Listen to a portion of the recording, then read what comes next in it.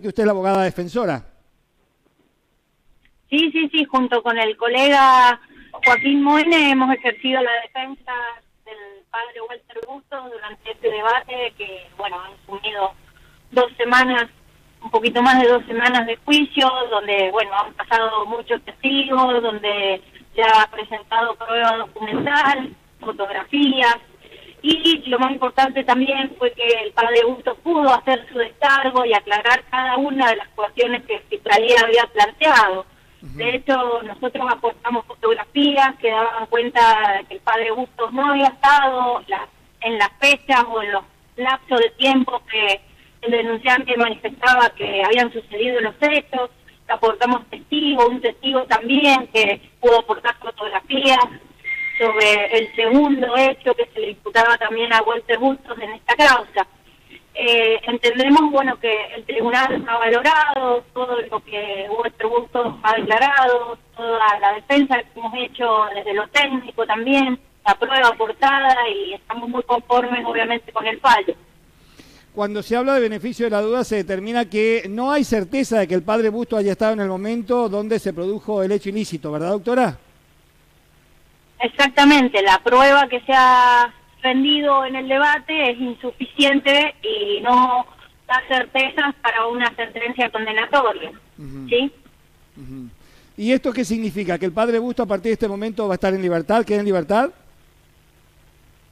Sí, el padre Busto eh, está en libertad ahora y bueno, se han levantado todas las medidas de coerción que existían.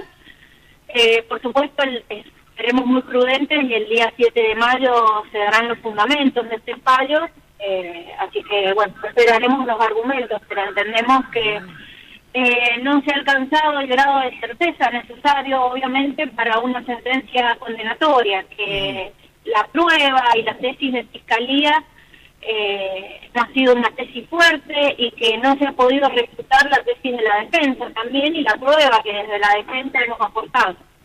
¿Qué tan importante fue la declaración del padre Busto la semana pasada, doctora? fue muy importante la declaración de Bustos porque entendemos que esto también echó luz en relación a las fechas.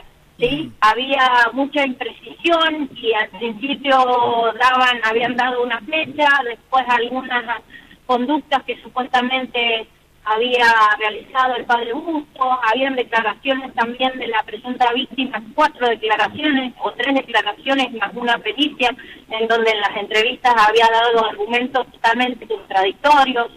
Eh, y la declaración de Walter ha sido realmente muy importante porque hemos podido también eh, refutar la tesis de fiscalía en función de la prueba que aportamos. Esa persona que declaró a través de Zoom o de videoconferencia desde Valle Fértil, tengo entendido, no tengo certeza de que haya sido desde Valle Fértil. Eh, ¿Fue determinante? Sí, de Valle Fértil. ¿Fue determinante? Eh, doctora, ¿me escucha? Fiscalía en su momento... Sí, lo escucho, lo escucho, lo escucho. Sí, lo que pasa es que se cortó brevemente. ¿Me escucha? Sí, ahora sí. Dígame, doctora. Ha sido importante el testimonio de este testigo que aportó también fotografías y también han sido importantes las fotografías que aportamos desde la defensa en relación a los días que se circunstanciaban como de haber ocurrido estos supuestos hechos, que nosotros desde el principio, por supuesto, negamos. Y además, estas fotografías, que fueron, creo yo, contundentes también para el tribunal, eh, Fiscalía intentó desvirtuarlas y se aportaron las fechas, en las mismas fotografías surgía la fecha, el horario de creación de la captura de esas fotos. Eh, por lo tanto, entiendo que eso también ha pesado bastante al momento de decidir por parte del tribunal. ¿Cuántos testigos fueron en total aportados por parte de usted de la defensa, doctora? Y por parte de la defensa tienen que haber sido más o menos siete, ocho testigos que aportamos. Le asistimos de dos testimonios también, eh, que entendimos, bueno, era una persona que no, no estaba en condiciones de declarar por cuestiones familiares y por temor también a represalias, entonces desistimos de dos testigos en base a esas circunstancias. Y la, la situación del, del, padre Busto a partir de este momento es de libertad absoluta. Bueno, está absuelto. Ahora, ¿puede volver a ejercer el sacerdocio? La verdad que desconozco cuál será su intención y cuál será, digamos, la normativa que rige en el arzobispado en relación a esto. Eh, obviamente él siempre va a ser una persona, es una persona de fe, de mucha fe, eh, y entiendo que va a seguir de alguna manera ligado al sacerdocio o a la fe, por lo menos, a su vocación. La declaración del sacerdote que sustanció el caso dentro del arzobispado, eh, ¿fue importante? Todas las declaraciones han sido importantes y no puedo dejar de resaltar que eh, Fiscalía había aportado muchos testimonios de los cuales eran la prueba, entiendo yo, que afirmaban la tesis de la Fiscalía y sin perjuicio de eso, muchas de estas declaraciones obviamente también han servido a la defensa, ¿sí? En relación a preguntas que se le iban haciendo durante el debate y que la verdad que eh, de alguna manera apoyaban más la tesis de la defensa, si se quiere, que la tesis de la fiscalía. Pero realmente eh, los sacerdotes que declararon, declararon eh, en función de las preguntas que se le hacía tanto de fiscalía como de defensa.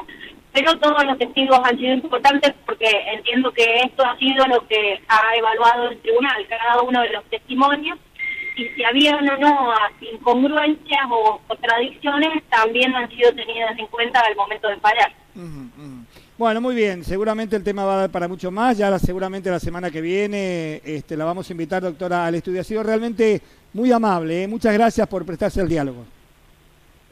Muchísimas gracias por estar. Hasta, luego. Muy bien, la doctora Sandra Lebeque, abogada defensora del, del, padre Walter Bustos, que ha sido absuelto por la justicia, dando detalle de lo que fue el juicio, de lo que fue particularmente las declaraciones que presentaron tanto Fiscalía como por parte de la defensa, y le preguntaba particularmente sobre la importancia o no de este sacerdote que sustanció el caso en el arzobispado, porque supuestamente el padre Gutiérrez, creo que, es el apellido, no tengo eh, claro muy bien, eh, habría dicho que no coinciden las fechas de la denuncia del padre Bustos con la presencia del padre efectivamente en el departamento de Valle Fártil. O sea que, a ver, habría echado mucha luz a favor del padre Bustos. Bien, tremendo caso, ¿no? Que tomó trascendencia nacional también. Exactamente. Y sobre todo por eh, los lugares donde había estado el padre Bustos prestando su servicio eh, de sacerdote, lo que había generado en esas comunidades, ¿no? también esta noticia provocó mucho revuelo en ese entonces y bueno, ahora también es otra vez, eh, está en las portadas de los diarios por esta decisión de la justicia.